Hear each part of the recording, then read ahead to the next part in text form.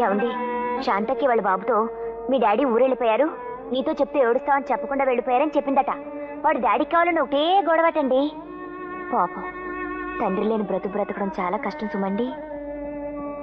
ఏమండి మిమ్మల్ని మాట్లాడుగుతాను కోపం రాదు కదా? ఏం లేదండి మీకు పిల్లలంటే ఇష్టం కదా? నాకు ఇష్టమే. మనం రాజీవిని దత్తత తీసుకుంటే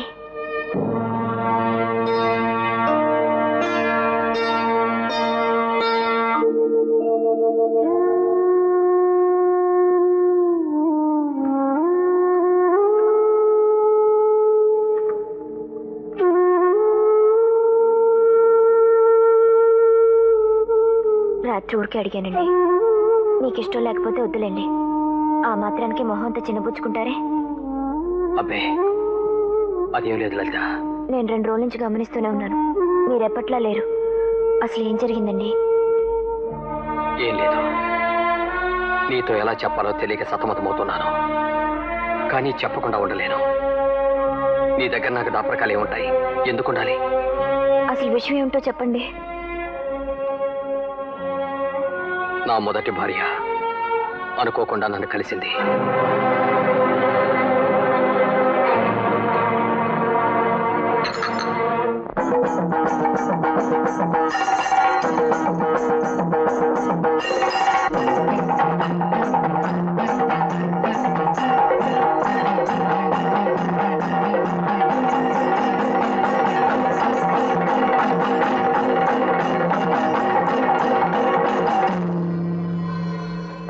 మామూలుగా కలిస్తే నేను అసలు పట్టించుకునేవాడిని కాదు.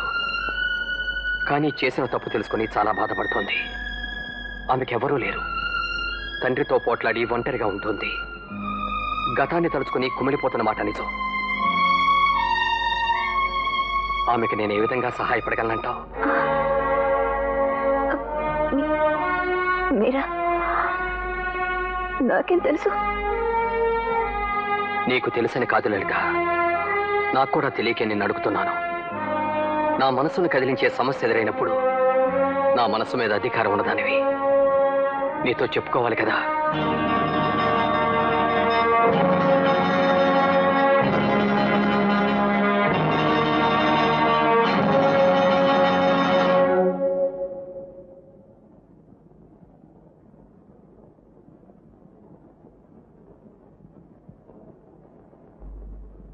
అక్క. ఏ లలిత ఈ ఎప్పుడు వచ్చావే? ఏం లేదక్క. ఏం చేస్తున్నా? సీరియల్ రాస్తున్నావా? నువ్వు ఊహించి రాస్తావు. అవి ఒక్కోసారి నిజమైపోతాయక్క ఏం జరిగింది లలిత? ఏం చెప్పనక్క.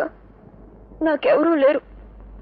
తోడు పుట్టిన తోబుట్టు లాంటి తను కాబట్టి నీతో చెప్పుకోవాలనిపిస్తుంది. నువ్వు రాసే కథల్లో రకరకాల సమస్యలకు పరిష్కారాలు ఇస్తావు. నా సమస్య నీతో చెప్తాను. ఎలా తీర్చాలో చెప్పు. అక్క మా వారికి ఈ మధ్య ఆయన మొదటి భార్య కనిపించిందట. తప్పు తెలుసుకుని పశ్చాత్తాపడిపోతుందట. ఓ ఈయన గారు తాతాలు ఆడిపోతున్నారు. ఒంటరిగా ఉంటుంది? ఏ సహాయమూ లేదు. ఎలాగైనా ఆవిడకి సహాయపడాలనుంది. ఏం చేయమంటావో చెప్పమని. చూడక నన్ను అడుగుతున్నారు ఆయన. ఆమె ఎవరు ఎక్కడుందో చెప్పలేదా? లేదు. నేను అడగలేదు. నాకే అవసరం. ఆయన వ్యవహారం చూస్తుంటే నేను కాస్త మెత్తబడితే ఆవిడ నెత్తికెక్కించుకుని మాతో పాటు ఊరికి తీసుకొచ్చేసేలా కనపడుతున్నారు. కానీ అక్క ఆవిడ గొప్పవాడే కావచ్చు. మారిపోయి ఉండొచ్చు మంచిగా ఉండొచ్చు. కానీ ఏమైనా?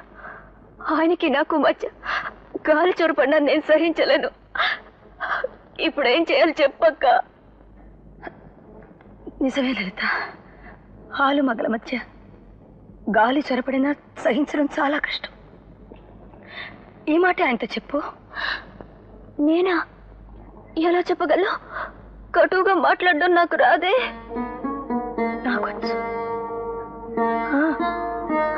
నేను నేర్పిస్తాను. నేను చెప్పినట్టే చెప్పు.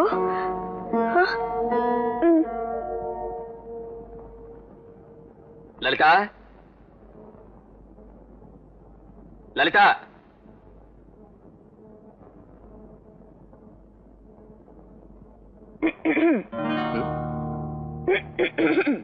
లలిత? అని పిలిస్తే గుర్రంలా సకిలిస్తావేమిటి? ఆహా!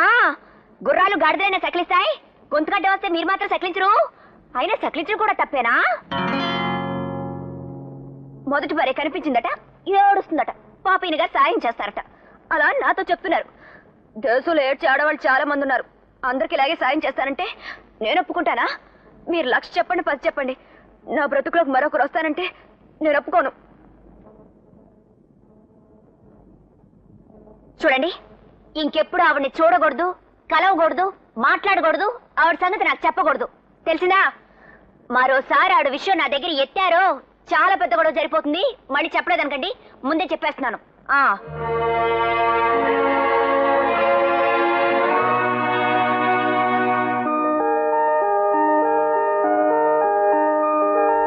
అడగని తలుచుకుని ఓ ఈయన బాధపడిపోతున్నారు. బాధపడిపోతున్నారు నేనేమైపోవాలి ఆవిడకేం చేయమంటావు చెప్పమని? నన్ను అడుగుతున్నారు మళ్ళీ. ఆవిడతోనే ఉండొచ్చుగా పెద్ద? నన్ను ఎందుకు కట్టుకున్నారు? కర్మ. అసలు ఇన్ని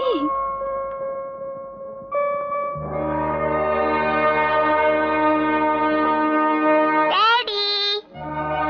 ఎక్కడున్నారేంటి? ఊరు నుంచి ఎప్పుడు వచ్చారు ఆ, ఆమ్, ఇప్పుడే వచ్చాను బాబు. నాతో చెప్పకుండా వెళ్ళిపోయారా? అవును ఊరు నుంచి ఇప్పుడు వచ్చి తిన్నగా మన ఇంటికి రాకుండా ఇక్కడికి వచ్చారే అది కాదు బాబు అది ఆంటీ ఆంటీ ఆంటీ? లేదు బాబు మీ ఇంటికే వస్తున్నారు. దారిలోనే మా ఇల్లుంది కదా అని పలకరించడానికి వచ్చారు. మేము ఫ్రెండ్స్ కదా? ఓహో అయితే పదండి డాడీ మన ఇంటికి వెళ్దాం. వెళ్ళండి. తీసుకెళ్ళి బాబు. డాడీ మన జీప్ ఇది డాడీ? Jeep jeep. జీప్ రిపేర్కి ఇచ్చారు కదండి. ట్రైన్లో వచ్చారు బాబు. అవును. సరే అయితే నడుచుకొని పోదాం. మన ఇల్లు పక్కనే కదా. త్వరగా రండి డాడీ. మమ్మీని సర్ప్రైజ్ చేద్దాం. లేవండి. బొత్తుగా కొడుకు మీద ప్రేమ లేకుండా పోతుంది మీకు. వెళ్ళండి. తీసుకెళ్ళి బాబు. వెళ్ళండి. ఊరికి మొదటి పారి గురించి బాధపడే బదులు పాపం పిల్లడికి తండ్రిగా నటించొచ్చుగా. పుణ్యం అయినా దక్కుతాయి. మమ్మీ మమ్మీ ఎవరొచ్చారో చూడు. డాడీ ఆంటీ వాళ్ళ ఇంట్లో ఉన్నారు. వాళ్ళిద్దరూ ఫ్రెండ్స్ కదా. అదన్నమాట. డాడీ ఇక మీరు ఎక్కడికి వెళ్ళడానికి వీల్లేదు. నాతోనే ఉండాలి. మంచి మంచి కథలు చెప్పాలి. కథలా? కథలు నాకు రావు బాబు. పోనీ పాటలు పాడతారా? పాటలు మర్చిపోయాను బాబు. అరే మీరు మర్చిపోతారా? నేను కూడా మూడో యొక్క మర్చిపోతూ ఉంటాను. డాడీ నన్ను ఎత్తుకోండి డాడీ. ఇదిగో బాబు ఏమిటిది? స్కూల్ నుంచి రాగానే కబుర్లు మొదలెట్టా కాళ్ళు చేతులు కడుక్కుని బట్టలు మార్చుకొని కానీరా